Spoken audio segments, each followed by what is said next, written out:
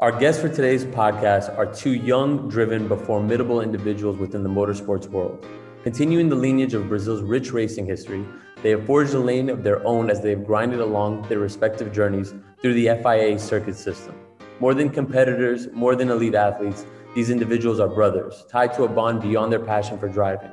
The eldest has been blessed with the opportunity to experience Formula One's brightest lights and tenacious competition, while the younger of the two has been relentlessly climbing the ladder and is on the cusp of breaking through Formula 2 for the opportunity to compete on the grandest stage of them all.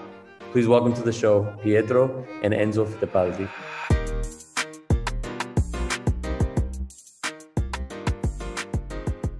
Thank you guys. How's everything going? Thank you, man. I really, everything. I really, I really appreciate. I really appreciate the invite. It's an honor to be here uh, doing this podcast with you guys. Uh, me and my brother were very happy uh, to be taking part. Yeah, I like I like the presentation. You presented us very well. oh man, let's let, we, we do the research. It's all about like giving you guys the flowers, giving you guys the love, man. Look at these two. How can you not love these two? So offline, I was like, where are you guys at right now? You know, they're they're locked down in Prague right now. That's their home base. And I'm just like, geez, you know, you got the you got the Brazil flag, got the Bank of Brazil in the background. You're sitting at the at the racing simulator. So just tell me what life has been like for you guys. Uh, obviously, in two different journeys. We'll start with actually you, Pietro, and just tell us what you've been up to recently and how everything's looking. Yeah, so we moved to um to Czech Republic beginning of the year, and uh, basically I've been living here with Enzo because his team, his Formula Two team, uh, is like 20 minutes from where we live, and uh, it's been good. I've been following the Formula One calendar with Haas as reserve driver, so I'm going to all the Formula One races. The good thing about that is I'm able to follow my brother's races as well because every time he races, he's um he's uh, with Formula One, so we're you know same race weekend, same track, so I'm there with Haas, and at the same time, I'm able to follow what he's doing. And uh, and I'm as well I've been uh, sports car racing, so doing a lot of endurance racing, European Le Mans, 24 hours of Le Mans, which I raced in July. That was uh, incredible. And uh, kind of now towards the end of the season, already working on things for for next year and trying to get all the deals done to um, to be racing something even better next season. So we'll see what the what the future holds. Awesome, awesome. What about you, Enzo? So basically, yeah, I'm, I'm currently racing in uh, Formula Two. Uh, and the reason we're living in Prague is because my team is uh, only 30 minutes from uh, from here. So I basically moved here uh, last year when I started racing with them in, in Formula Three. Um, and then I moved up to Formula Two with them, and my brother's living here with me, and it's it's been amazing. You know, we we train a lot on the simulator here. We work together. Um, and it's just been an amazing journey up until now. Uh, you know, my goal is to make it to Formula One this year. In Formula Two, it's my rookie season. Um, I've had six podiums up until now, and now we're, you know, we're fighting for the top three in the championship, uh, which is amazing. So there's one round left in uh, Abu Dhabi in about uh, two months from now. Um, so there's kind of going to be like the finale, uh, the fight for the top three in the championship and it's been an amazing uh, uh, season uh, up until now. That's awesome. So, what what team are you actually a part of? So, my team is uh, Racing System. Uh, they're a Czech team. My brother raced uh, with them and won the championship with them in 2017 uh, in World Series, which they used to be called Lotus Racing Team. Um, and then in 2018, they changed their name to Charouz uh, and they started racing in Formula Two. So it's a team that I've known for a really long time. I think I've known the team manager and team owner for over eight years now uh, because, you know, my brother has, uh, you know, a big history with them. And um, yeah, it's amazing to to be working with a team that we know so um, so well. That's awesome. I know Milad wants to kind of get into that family history a little bit, so I'm glad you mentioned that. Yeah, man. Um, I think the best place to start, and you know, this is becoming more of like a staple for us. Before we dive into the family, before we dive into the history, before we talk about what it takes to be a driver at that level, um, you know, you, you guys have known Devin for a while. You know his run your own race mantra. You know, what does that mean to you in your own words? No, I think for me, um, you know, run your own race. Actually, I met Devin uh, when he was recovering from his injury in the the Indy 500. That was last year. So it's crazy how far you've uh, you've come, man. I mean, I remember you there in crutches, and now you're you're in the NBA. So I mean, you you came back to the NBA. So it's something uh, amazing to see. I actually have a very similar story in a way where the year after I won the championship for the team that Enzo's racing for now, that was uh, I won the championship in 2017.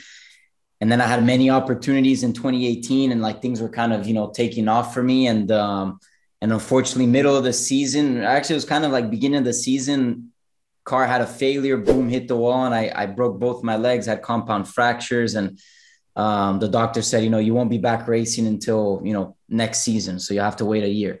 And uh, I kind of had that, you know, similar run your own race, uh, but you know, in the racing style where I was like, man, I can't miss the opportunities I have now. I have contracts with teams, and what what ends up happening is the team will put another driver, so the contract you have with them at the end, uh, it goes to nothing, and they put another driver, and then you know the following season you might not have an opportunity anymore. So I was like, I have to find a way to get back to the seat. Um, and I, I, I did that. I went to Indianapolis. Um, did all my rehab, which, you know, we can talk about the process later on, but basically that's kind of my run your own race story was doctor said you'll be back in a year and I was able to get back in the car in two months.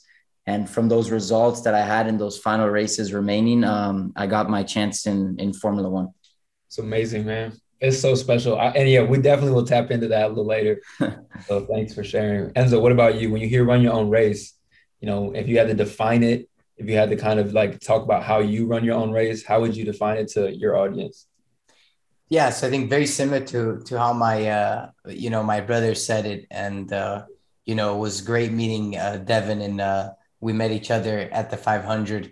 Um, and it was when Devin was also you know he was in his crutches. It was the same time my brother and I we we met Devin, and uh, you know Devin was going through a really difficult time uh, at that moment, and uh, like my brother said, he you know, he had to take a time off the NBA. He recovered and made it back to the NBA. And I kind of have a, a, similar story, uh, but in in Formula Two, you know, I had a really big accident um, at the end of last year uh, at a track called Jeddah. You know, it was a a crash um, at the start, um, and I remember, uh, you know, it was a it was a really big crash. I smashed my heel, and then I had some, um, you know, some issues with the brain bleeding and everything, and I had to do some uh, some surgeries. And uh, luckily, I you know I put my my f- full focus on uh, you know after the crash, I had two months uh, to get ready for the next season, and the doctors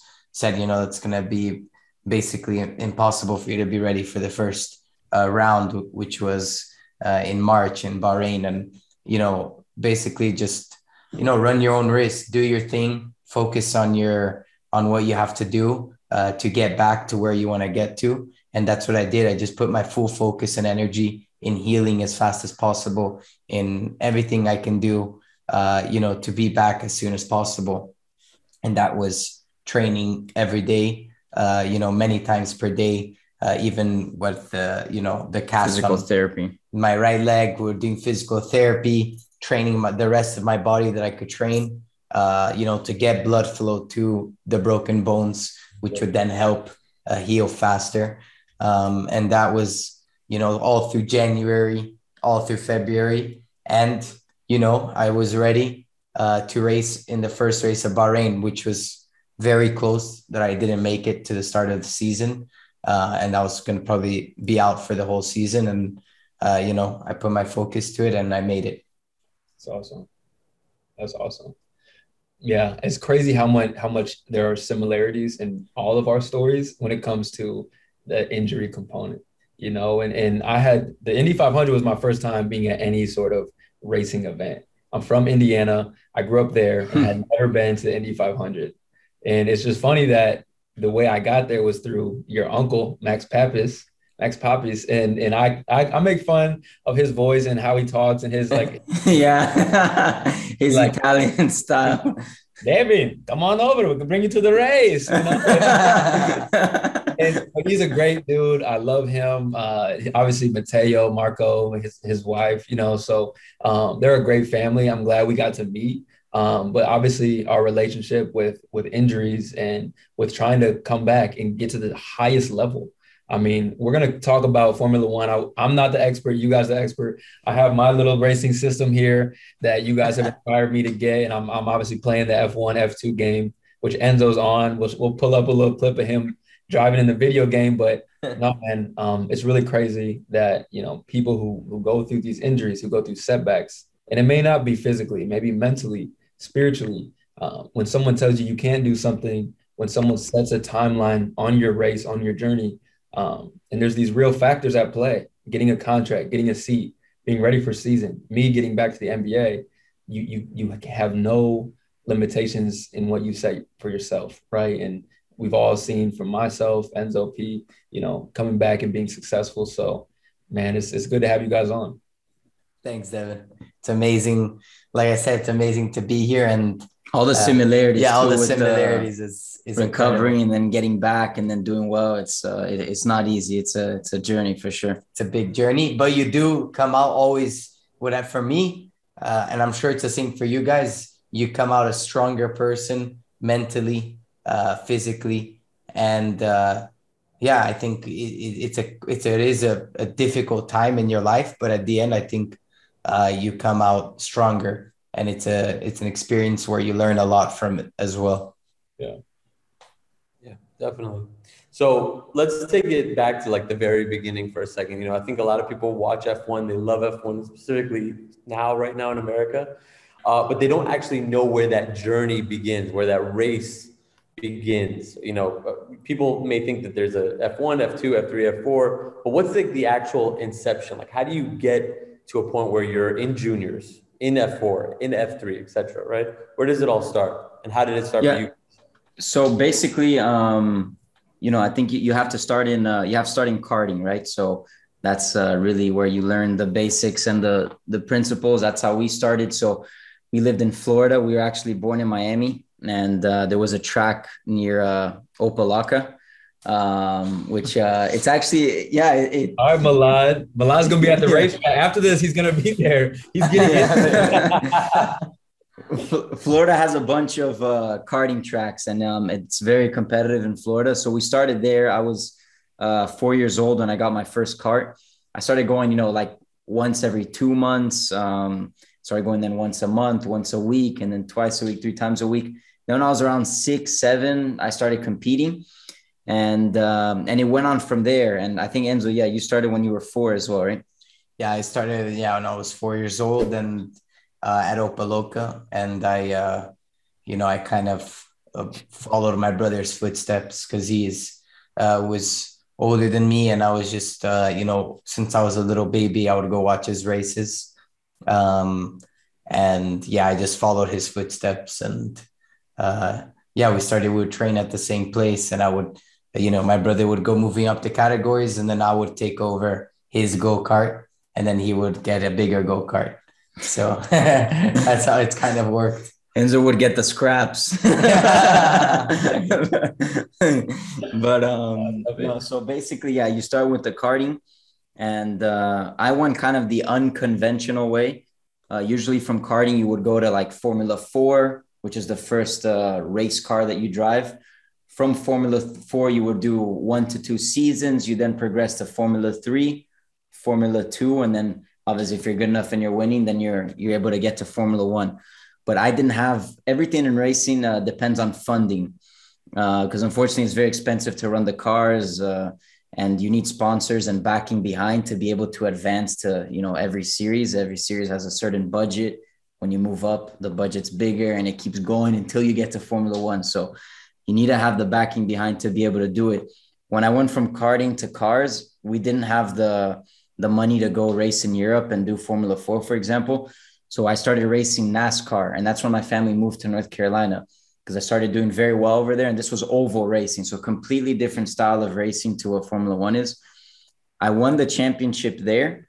And then when I won that championship in NASCAR, I got recognized um, by uh, Carlos Slim, um, who was a main investor in my career.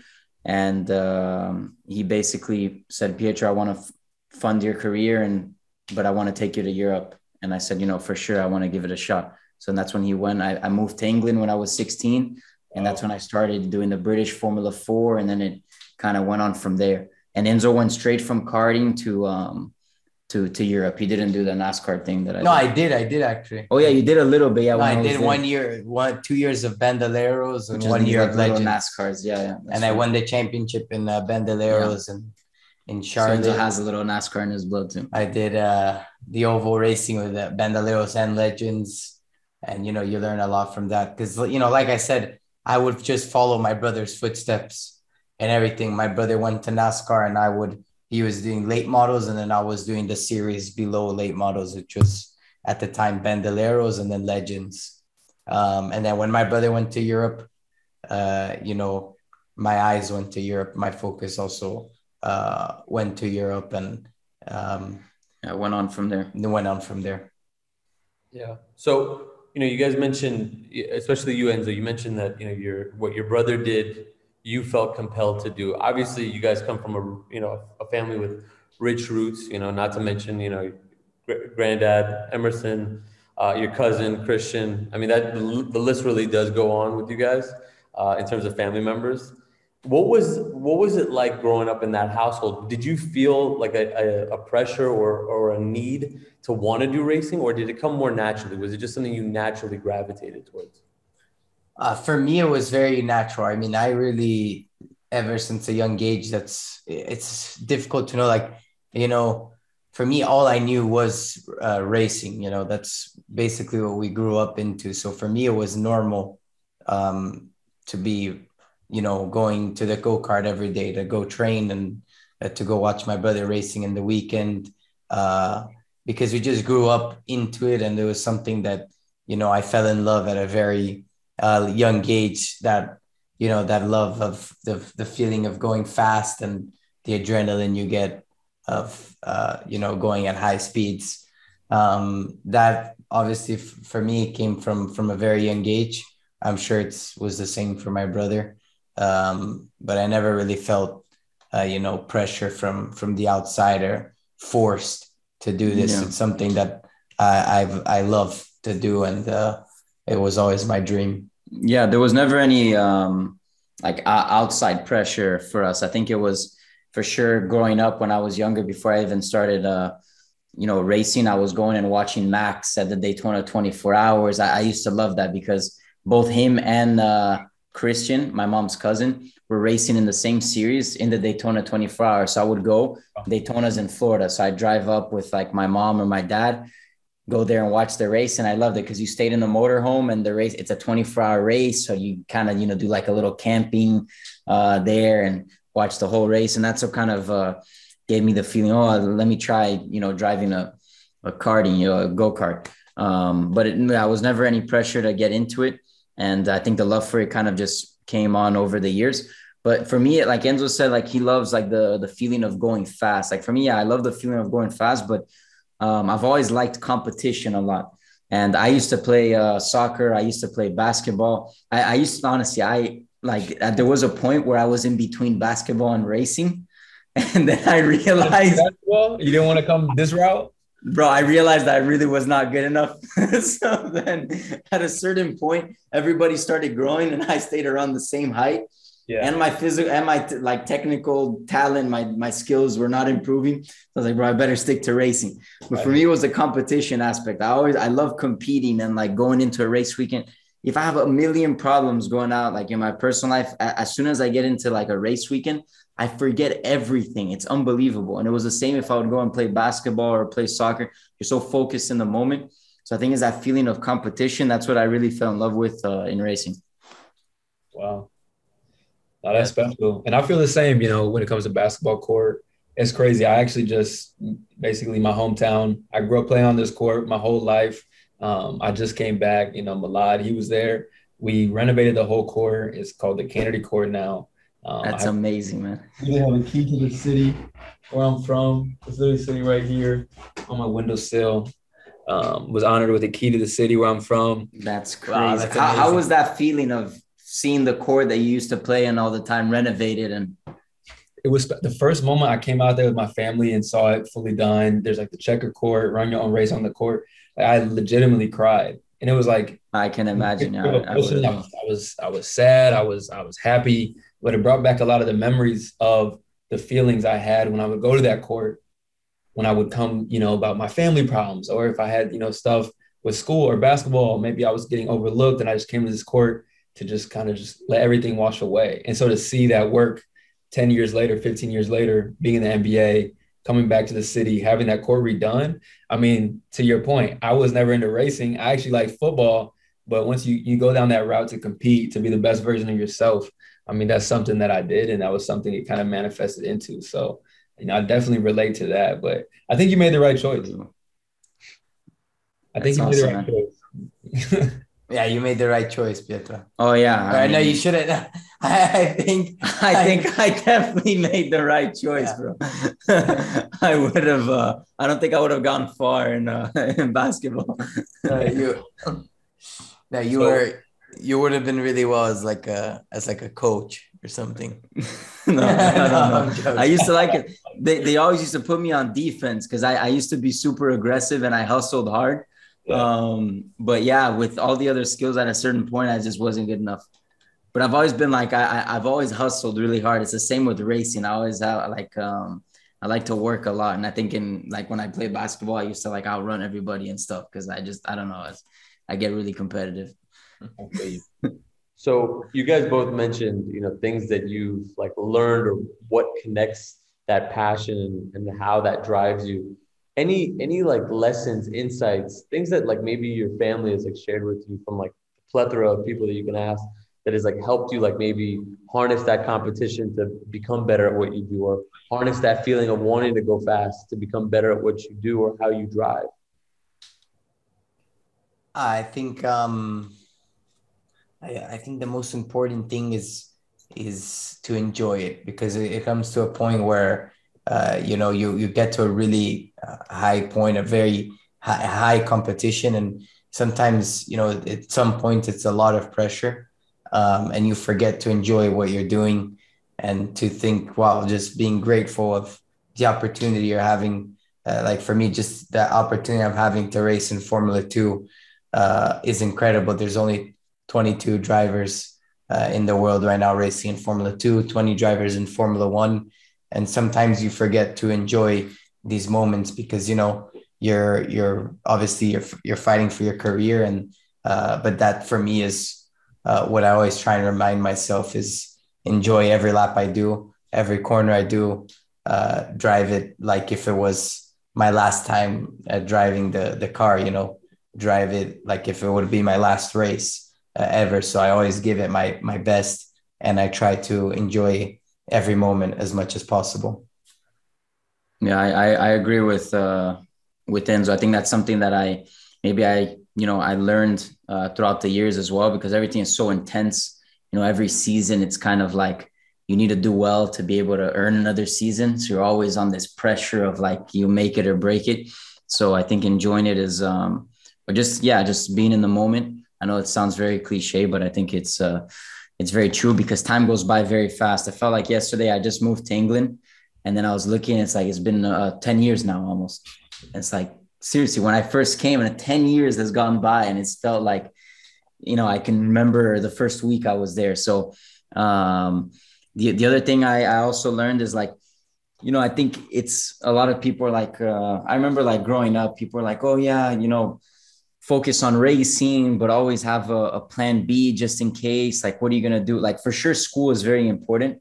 I'm not saying like don't focus on school or anything, but I'm saying like, at least for me, it was a lot of people were like, um, you know, yeah, I think it's great that you're doing racing, but make sure, you know, you have a plan B just in case. And for me, that's honestly, at least for me, that was bullshit. I think you have to have a plan A and only a plan A, and either you make it or you don't and that was kind of the mentality I went with is like, I only have racing and I'm going to do everything I can until I literally cannot do it anymore to make it happen.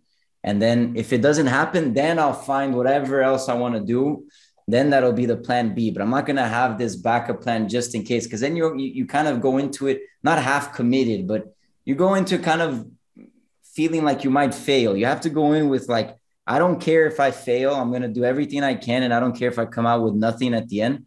But I know that I did everything I can, and I think that's something that I learned as well. Like especially in the beginning, because I was the first one to go at least from our immediate family like to Europe and stuff, and my family's always been super supportive. I remember like other people, or even people like the teachers in the school and stuff, knowing I was moving to England for racing, they're like, yeah, but you know, you you have to like, you know, be careful and make sure you're um, you know, you have a plan B. And I was like, I'm gonna do everything I can. And if it doesn't happen, it doesn't happen, then I'll I'll find something else.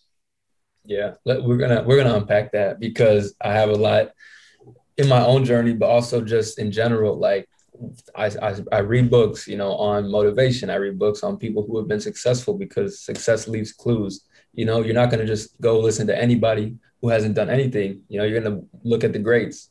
And one person I have, I have literally have sitting here is Kobe, you know, and his mentality. And so we can pull a clip, we can, you know, go and look at, you know, one of his quotes. And he's like, yeah, I go 100% in on everything. He said, I don't believe in, you know, putting your eggs in different baskets. All of my eggs are in this basket you know and so when it comes to you know what you guys are doing when it comes to my journey and i think everyone who's listening in whatever walk of life that it is you know it's it's really not necessarily a a mental thing where it's if i don't succeed then i'm a failure it's it's give yourself the opportunity to succeed by giving putting everything you have into it. And so i think what you're saying is you you took a leap of faith. You went about you know the journey that you wanted to go on. You knew the race that you were running at an early age and said wherever that finish line ends up being it doesn't matter. It's going to be a success to me. Just because i may or may not get to f1 f2 for that matter i'm going all in. And you you found success through that. You've had adversity. You had the injury. You've had and Milad can can talk about it because it's one of his questions as he's watching Drive to Survive and he's looking at Haas. And I told him a little bit about your story. He's like, why isn't he in the in the main seat? Right. And so, I mean, Milad, you can ask that question. We can dive into that because it's also something I want to know. Like, how do you continue to push towards that finish line, not knowing where it actually is, having all these eggs in one basket, and you have an opportunity potentially in front of yourself. It may not go your way, you know. I mean, then this is this happens in the NBA. There's 450 spots, and it feels like it's impossible to get one. You guys have 20 seats, 22 seats, you know, Enzo. So let's talk about the the, the comparison and that, the dynamics there. Yeah, definitely. Specifically with Pietro, um, not too long ago, your, your, your team decided to bring somebody back when it was be, when you had an opportunity to take over that main driving seat, right? The team brought back Kevin. Kevin, uh, if I'm not mistaken, Magnussen is, is mm. the last name. And and you had a good quote. Um, you mentioned that you were disappointed but you knew that it was what the team needed. And you also said that it doesn't change your commitment and your story doesn't end here, which goes hand in hand with what Devin is talking about, right? What are, you know, what are, what was that experience like? You know, how did that fuel you? How did that lift you up? Very similar to like Devin's story. You know, he had, a, he had the opportunity to either fold or elevate, right? And you have the same opportunity now. Yeah, definitely. It was um, for sure when they made the decision, it was, you know, between me and him. And I understood the team's position away where they they had a car where um, and the team was in a position where they, they hadn't performed in the past two seasons and they finally developed a good car and they needed an experienced guy that they kind of a known quantity that they've um, had before to go out there and and uh, and deliver. Obviously, um, I was disappointed because I knew from all the testing and the racing I've done with the team, um, kind of what I would be able to deliver, and I, I have no doubt that that I would be able to. Um, but in any case, I could have looked at it in in two ways. I could have looked at it negatively and been like, you know what, I'm done and I'm out, or you know, let's keep working. The opportunity is gonna is gonna come, um, and that's kind of the way that that I looked at it. Then the team gave me the chance to do the testing at the beginning of the year with the new car. Um, you know, there's possibilities of me driving again uh, towards the end of the season. And uh, the thing is, like, it's the same mentality as I had. I have one goal, and the goal is, you know, to be racing in Formula One or even in IndyCar full time. Um, I, I've been with Haas for the past couple of seasons, and I had the situation where in 2020, I almost didn't go to the last three races with the team. Um, because I was going to have some other commitments. And I said, you know what? I need to finish this off with the team. The team was going to allow me to go do my other testing and stuff in other seasons. I was like, I need to finish off what I have with the team. And I went to those last three, and I remember the day that like I was booking the the flights and stuff with the team. I I, I remember like really considering not going because I had these these other options I could have done that wasn't in Formula One. And um, I went, and that was the moment that I had the shot to race in Formula One because Grosjean had the accident and stuff. And I almost, I, I couldn't, like, I, I, I can't imagine how I would have felt if I went to the Plan B or whatever, and then Grosjean yeah, had the accident. They put yeah. someone else in, and I, I missed the opportunity. So it's kind of not a similar thing, but it's like I'm gonna run this full on. I had the, the contract with the team from the beginning of the year, um, so we'll see, you know, where it goes uh, towards the end of the year. But I know where my my commitment lies and um, where my goals lie. So um, we're doing everything we can to, you know, to be on the grid in Formula One. And uh, obviously, the dream is to have both me and Enzo and racing in Formula One. You know, to have the Fittipaldi brothers racing there. I think that's uh, that would be uh, yeah, man. That's the the ultimate ultimate goal. you guys are ahead of you guys are ahead of us. I mean, we're trying to ask the questions. You're answering all the questions. You guys are killing it, man. Like that's because you guys are just you're you're just in the moment. I, I can see it on Enzo's face. He's he hasn't stopped smiling since we started. Enzo never stops smiling, bro. He's that's his that's his default setting. Like Enzo, let me see you just not smile. Yeah, no, you have to see him sometimes no. pissed after the race. Then Enzo's a, Enzo's very heated. If mm. you go into the truck and he's ha- doesn't have a good race and you question him on something, then you definitely are gonna get some uh, some hard answers back. I, get stressed out. He's like a little pit bull. they call him the little shark, but he's a little pit bull. That's it. I love it. But Enzo, so you know, obviously, you know, we're, we're bringing up a part of your brother's past that's kind of like a, a stake in the ground, a turning point. You know, you've you've been on this steady ascension. You know, what's probably the most a series of moments that's probably caused the most amount of doubt that has maybe even caused uh, a sense of like not wanting to do this if that ever came up. And how did you like push through that? How did you overcome that internal adversity? I think i never never uh, in my career i never had a i've never had a point where i said i don't want to do this anymore you know? I never really uh, came to a point uh, there but I, have had some very t- times uh, recently that were very uh, difficult in my career uh, when I was with Ferrari for four years. Um, and at the end of 2020, uh, you know, we had lost our main sponsor. Um, and basically, I, I had to, you know, to continue racing in Europe. Uh, we had an option to go with uh, with the top team in Formula Three, but we just simply didn't uh, have the budget.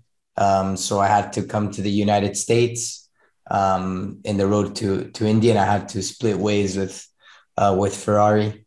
Um, and basically, my my dream of making it uh, to, from the road, basically going away from road to Formula One, you know, um, which is my ultimate dream is to make it to uh, has always been to make it to Formula One. So that for me was a really difficult time, and I, uh, you know, I kind of took a step back in my career. I went to race in uh, in Indy Pro, um, and you know, the start of the season, uh, you know, I did the first race. Um, then I, I was at St. Petersburg uh, when there was having the uh, race there. Um, you know, I had a really bad weekend there. We had also a really big crash. Uh, luckily, I was okay. Um, but I remember after that race weekend, um, we basically uh, you know, we really didn't have any uh, more budget to continue, uh, maybe to do one or two more rounds of Indy Pro and then not even to finish the, the championship. And I remember that after that weekend, I was like, man, this is really, uh, you know, probably it. I don't know if I'll be able to, to continue racing um, after this. And a few days after that race weekend, I get a call from uh, uh, the team owner from from Charouz, and they call me and say, "Hey, we we want to uh, we we need a, a good driver uh, to race in the in our car, and we, we have a free we have a free ride uh, here for you." And it was like wow. I didn't even think about it twice. And uh, next week, the week after, I was already racing in Barcelona in Formula Three. I had basically got all my bags and got the plane and went to Barcelona. Um, and that was the first race of the season. I was fighting for a win there uh, on my first race weekend. Had an accident, um, which was you know it's racing, but that was where uh, you know it went very it was a difficult time, and then I had this opportunity come up out of nowhere, and I took the most of it. I had the I got the best result of the team in uh, Budapest, uh, which was a second place at the time, um, which is the best result in the team's history. And that result in Budapest is what got me, you know, the promotion, the opportunity to race uh, in Formula Two uh, when I did my debut at Monza uh, in the last couple rounds of the F2 season from uh, last year. Wow. It's big time. Yeah. Yeah. I know you mentioned uh, sponsors, and and here's one thing: it's like as I'm still learning, and there's a lot I need to learn. At the same time, I feel like I know a lot more than than my peers around here. So when it's Sunday at 9 a.m. and they're like, "What are you up to?" and I'm like, "I'm watching the race," they're like, "What are you talking about?" So and, and people are are not catching up with what's going on. They're waiting for another season of Drive to Survive to come out so they can binge it. And I'm like, "No, it's happening right here, right now." You know, so um, it's really cool because again, since since I was introduced to you guys at the Indy 500, um, kind of right back when when COVID kind of ended, it was the first real, I think, the largest in-person event since COVID hit, um, which was awesome to see you drive there, Pietro. Um, I feel like I've been learning a lot, but for my audience, um, who's who's learning more as we continue to build the podcast. Um, obviously, we have two extremely special, young, talented um, Formula One, Formula Two drivers here. So, tell us about what is it like, and and what do you need to, like you said, rise and ascend in terms of budget? How you get these sponsors? Who are some of your top sponsors right now? Um, and just kind of talk through that process. Yeah. So basically, um, you know, beginning of the year, uh, we were able to sign with uh, Banco Brazil, which was um, basically gave the the chance and opportunity for Enzo to race a full season of Formula Two beginning of this season. And um, what helped us a lot was throughout the pandemic and the quarantine, um, all the racing stopped, and you know all the sports events and everything. So everything became, uh, you know, they were doing all the virtual races and things like that. And then Formula One started holding like the official virtual F1 championship instead of the real races because they had stopped it. And uh, Haas had asked me and Enzo to race for them um, because the two drivers that they had, uh, Romain and uh, Kevin, they don't really use the sim so much. So then they asked me and they asked Enzo. And throughout that time, we said, "Oh, okay, let's let's run these virtual races, um, but let's set up a Twitch channel, whatever, like a YouTube channel, like you know, document some of these things." And it started with nothing. And like over time throughout the whole pandemic it grew. And we got a massive following. One of our very good friends now is the biggest twitch streamer in brazil. And there are a couple months in the year he's the biggest twitch streamer in the world. And when we were doing those virtual races um, he was he would stream on top of our channel. So we Bring got like people over. Yeah, so we basically got a bunch of support from this uh, massive Twitch streamer, which uh, he's, he's a very good friend of ours, and that you know grew our twitch and youtube channel a lot and then we became very active on this like digital segment and that's what helped us a lot um, to get these new sponsors um, through the twitch through the youtube channel. And it's uh, you know i don't think there's many drivers that do honestly and trying to say it humbly but i don't i really don't think that there are many drivers that do the amount of uh, work on the digital side as we do because we know we depend on the sponsors to be able to race we need the funding to move forward and this is a way and a tool that we utilize to be able to um, get the sponsorships and you know increase budgets and stuff uh, to fund our racing. Uh, because yeah the numbers are very big you know when you go from karting to f4 to f3 f2 f1 it's uh, the, the budgets are big so you need the funding behind. Mm. you have a team with you that do that does that or is this Fittipaldi brothers you know hand in hand just going out and getting these deals done? Because it seems like you guys I mean, your Twitch is, is crazy. The YouTube is crazy. TikTok is going wild. Uh, you guys are very active. You build a really good brand. And so again, like I don't know many brothers in or sisters for that matter in any sport that are able to do what you're doing. So yeah, you said it humbly, but you guys are literally leading the way in this digital space. So it's super dope to see. It started with just uh, me and my brother, and um, like all the content stuff. You know, we we we do it together. Um, but then yeah, slowly it's it's been growing. Now we have uh, three people on our team with us. You know, that helped. Like we have a YouTube uh, manager, you know, that edits the videos. Then we have a videographer that comes to our race weekend. So we have the we're vlogging every race weekend with the videographer. Before we used to just be ourselves with the camera. And then we're, we were like, all right, the channel grew. We got to step it up a little bit. We can't keep the same. yeah. So we have a videographer. He's a Brazilian guy and he comes with us. And sometimes like we don't have the the money to like. and I told the videographer he's a, he's a friend of ours and he's like, dude, I don't have the budget to like get an extra room like hotel room and stuff. So some of these race weekends we'll just have to sleep in the same room, like all three. Grind. That's the grind, and that's beautiful. That's awesome. so we have like we get like a twin bedroom, and then like someone sleeps on the sofa just to make it possible, you know. And it's like that's how we've been growing. We're going you know, growing our team slowly, but with uh, with key people, and um, yeah, and well, we we keep pushing. That's awesome. That's right. That's so great we're in the same position now. We're doing the same exact thing. One one person at a time, one budget at a time. We figure it out. so we love hearing that. it's so difficult, but it's it is definitely worth it. And the the it, it grows very slowly. It's just the consistency that's important. That's right. Hundred percent. You did talk. We you already kind of mentioned what the end goal is. So I think with that, we're we're getting a big picture of who the Fittipaldi brothers are, not just as a collective, but individually. You both have unique journeys. You know, it seems that Enzo has gotten the scraps from from a young age, and he's used those scraps and turned them into a very fast vehicle, very you know fast, strong tools as his own person to to persevere and overcome things. So it's great that you Enzo have a brother like Pietro to look up to and to lead the way and guide. And I feel like it's giving you all the access and resources to go and be the best. And we see that.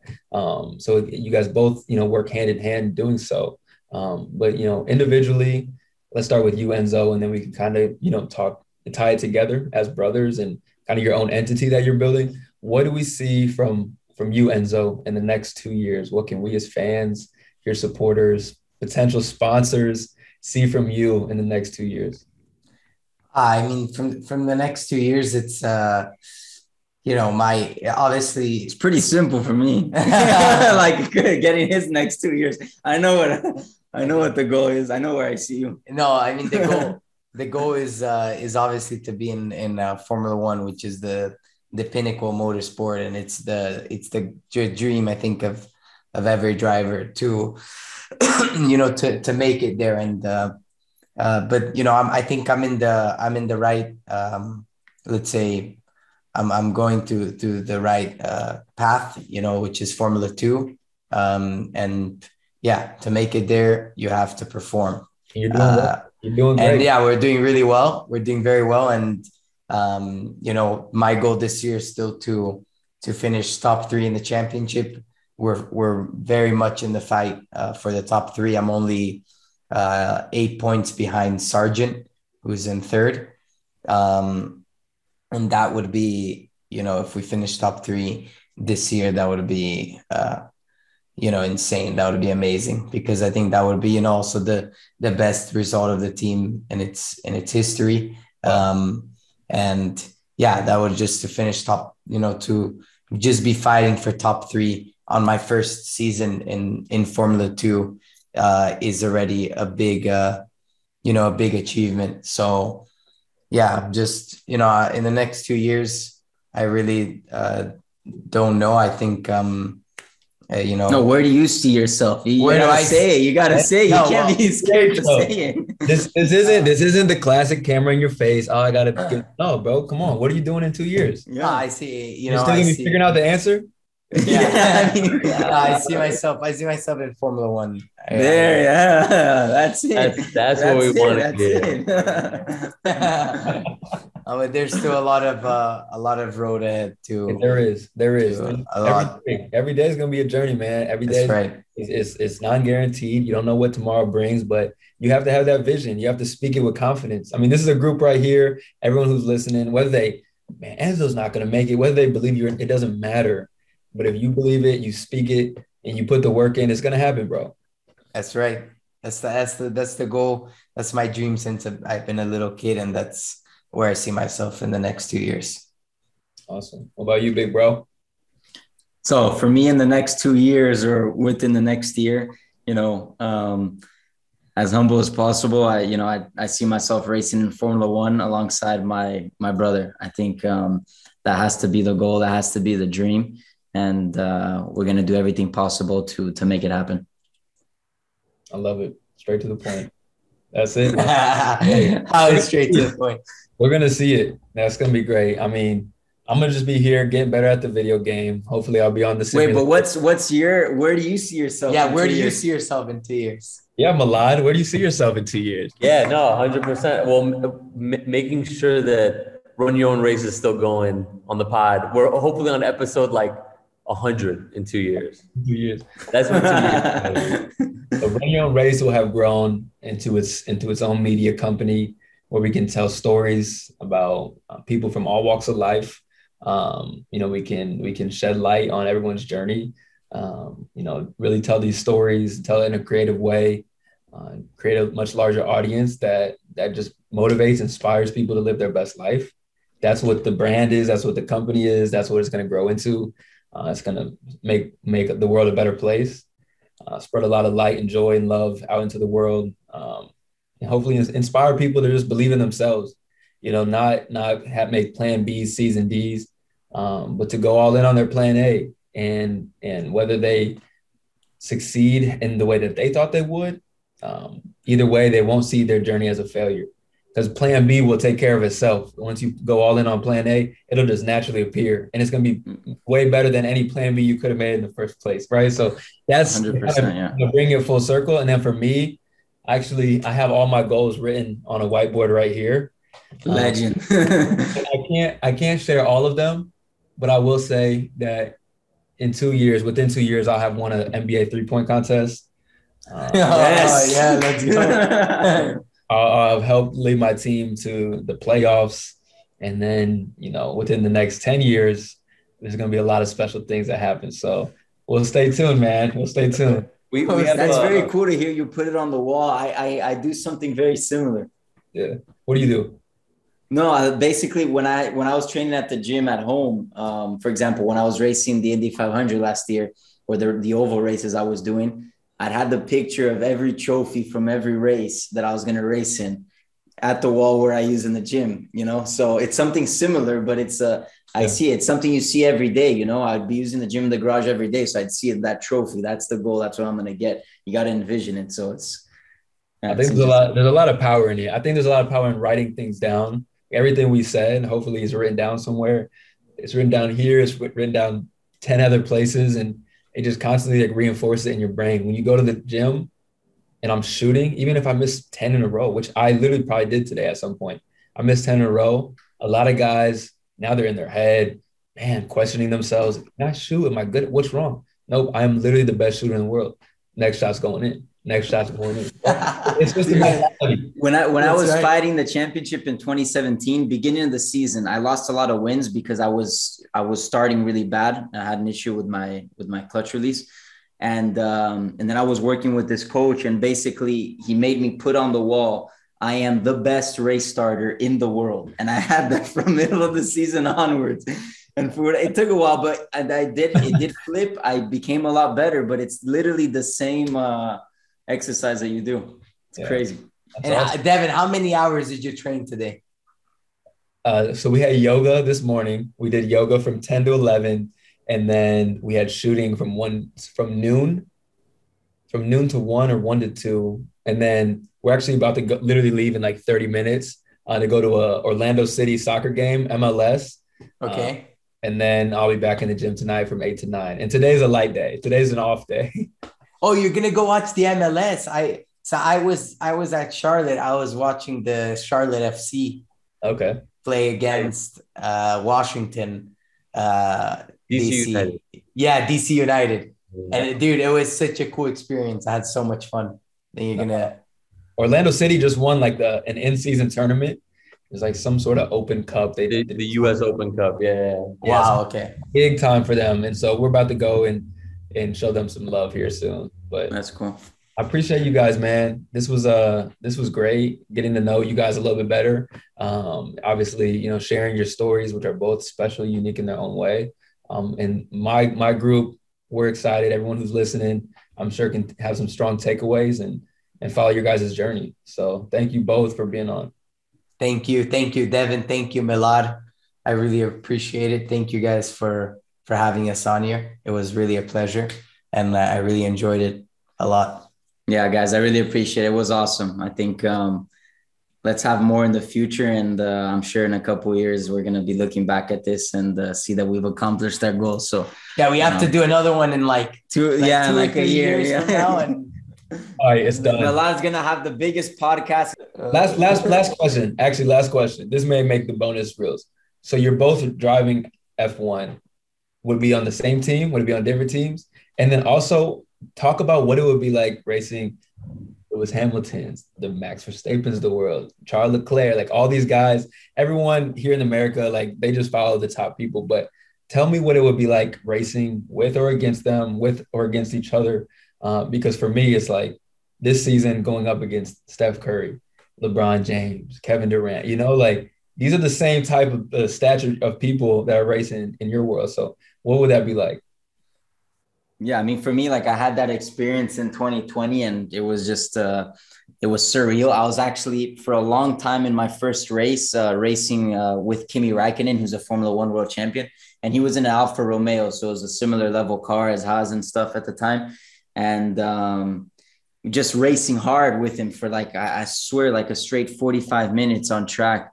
And I remember thinking like I, I he was in front of me at the time, and his like car was like sliding. I'm like fuck, you know, I'm racing with Kimi Raikkonen over here. You know what I mean? Like, look at this guy getting the car sideways. Like, what do you think he is, a world champion? yeah, yeah. But it's uh, it's cool. But then at the time, you have to think like you can't let. I remember being kind of starstruck, but when you're out there, you can't let that kind of elude you in a way. Like, oh, these guys are. Bro, I made it here as well. You know, it's like I respect their titles and everything, but I'm here to race you just as hard as I'd be racing anybody else. Yeah. And I think you have to have that mentality. If not, you always kind of see them as higher than you or, you know, more. So you have to like, I respect everything they've done. I'm going to race them, you know, hard and respect them, but I'm going to race them really hard, just as I would race anybody else. Yeah. And the same with Enzo. If I'm yeah. racing him, I'm gonna race you hard, bro. yeah, no, doesn't matter. Once you're on track, there's no, there's no friends. Doesn't matter if Pietro's my brother. Uh, no, but I think we would do some team, even in separate teams. We would. We would what? We would teamwork. Yeah, I'm sure. no, I mean, I'll be. Oh, but I think in Formula One it'd be so you have so many things going on that you just wouldn't be able to to really do it. You would just do your own race. Like if I was going for my first win, you were in second, your teammates in third with newer tires would you block him to avoid, like get me let me get my first win or what?